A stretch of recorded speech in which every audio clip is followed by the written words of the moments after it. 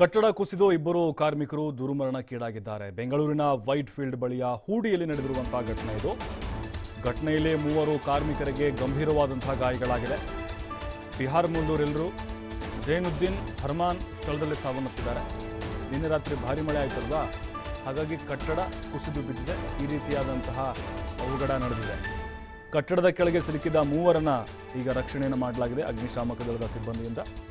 ಪರಿಶೀಲನೆ ಕೂಡ ಮಾಡ್ತಾ ಇದ್ದಾರೆ ಪೊಲೀಸರು. ಕಟ್ಟಡ ಕುಸಿದು ಇಬ್ಬರು ಕಾರ್ಮಿಕರು ದುರ್ಮರಣಕ್ಕೀಡಾಗಿರುವಂಥ ಘಟನೆ ಇದು. ವೈಟ್ ಫೀಲ್ಡ್ನ ಹೂಡಿಯಲ್ಲಿ ನಡೆದಿರುವಂಥ ಘಟನೆ ಇದು. ನಿನ್ನೆ ಭಾರಿ ಮಳೆ ಆಗಿತ್ತಲ್ವ ಹಾಗಾಗಿ ಅವರು ವಾಸವಿದ್ದಂತಹ ಕಟ್ಟಡ ಕುಸಿದು ಬಿದ್ದಿದೆ.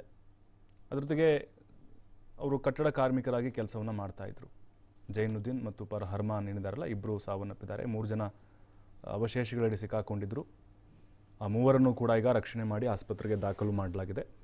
ಅಗ್ನಿಶಾಮಕ ಸಿಬ್ಬಂದಿ ಕಾರ್ಯಾಚರಣೆಯನ್ನು ಮಾಡಿದರು. ನೀನಾಗಿರುವಂತಹ ಘಟನೆ ಇದು. ಅವ್ರಿಗೆ ಗೊತ್ತೇ ಆಗಿಲ್ಲ.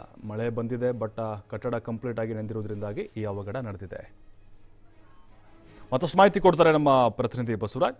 ಬಸವರಾಜ, ಅಂದರೆ ಅವರ ಗಮನಕ್ಕೆ ಬಂದಿರಲಿಲ್ವಾ ಅನ್ನುವಂಥದ್ದು, ಮಳೆ ಆಗಿ ಆಮೇಲೆ ಕಟ್ಟಡ ನೆಂದು ಹೋಗಿದ್ದು ಯಾವ ರೀತಿಯಾದ ಆಗಿರುವಂಥ ಘಟನೆ ಇದು?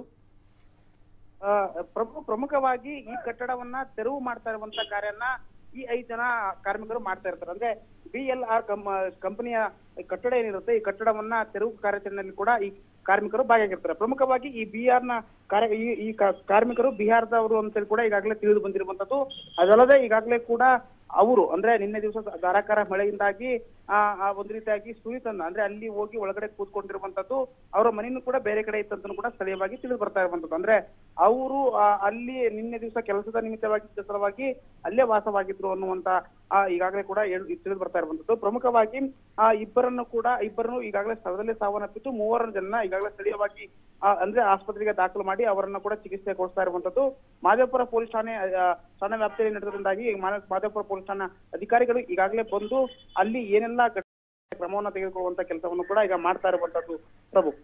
ಮತ್ತೆ ಗಾಯಗೊಂಡವರ ಪರಿಸ್ಥಿತಿ ಹೇಗಿದೆ ಬಸ್ಸು ಈಗ? ಪ್ರಭು ಏನಂದ್ರೆ ಈಗಾಗಲೇ ಕೂಡ ಬೆಳಗಿನ ಜಾವ ಅವರನ್ನ ಆ, ಆಸ್ಪತ್ರೆಗೆ ಕೂಡ ದಾಖಲು ಮಾಡಿದ್ದಾರೆ. ಅವರಿಗೆ ಚಿಕಿತ್ಸೆಯನ್ನು ಕೂಡ ಕೊಡ್ತಾ ಇದ್ದಾರೆ. ಅಂದ್ರೆ ಸ್ವಲ್ಪ ಪ್ರಮಾಣದ ಗಾಯ ಕೂಡ ಆಗಿದೆ ಅಂತ ಕೂಡ ಸ್ಥಳೀಯವಾಗಿ ತಿಳಿದು ಬರ್ತಾ ಇರುವಂತದ್ದು.